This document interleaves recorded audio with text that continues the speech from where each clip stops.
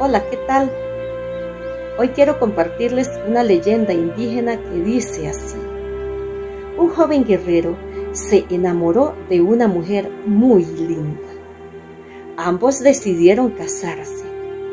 Como se querían tanto y sabían de lo difícil que es la convivencia, le pidieron al brujo de la tribu un conjuro para que el amor y la alianza fueran eternos. El brujo le dijo al joven, ve a las montañas del norte. Cuando estés en la cima de la más alta, cazas al halcón más fuerte y más valiente y lo traes vivo.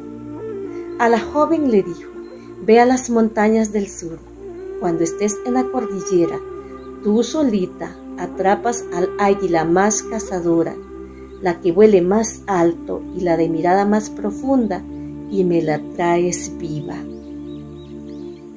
Los jóvenes aborígenes regresaron con las aves y preguntaron, ¿y ahora qué hacemos con ellas? ¡Qué lindas y fuertes son! dijo el brujo. ¿Verdad? Sí, respondieron ellos. Las vieron volar alto y muy rápido, sí como ninguna.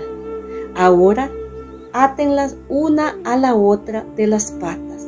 Así lo hicieron. Las pusieron en el suelo y las aves intentaron volar, pero lo único que lograron fue estorbarse y lastimarse. Ven lo que pasa con estas aves ahora que están atadas. Ninguna puede volar dijo el brujo, y antes lo hacían muy bien. Este es el conjuro de amor eterno que yo les doy. Que su alianza no sea atadura para ninguno, sino la fuerza y el aliento para crecer.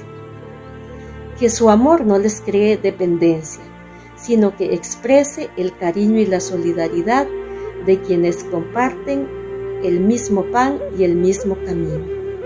Respétense, y dejen que cada uno pueda volar libremente. Así irán aprendiendo a volar juntos por el cielo. Si así actúan, su amor será realmente eterno. Muchas gracias.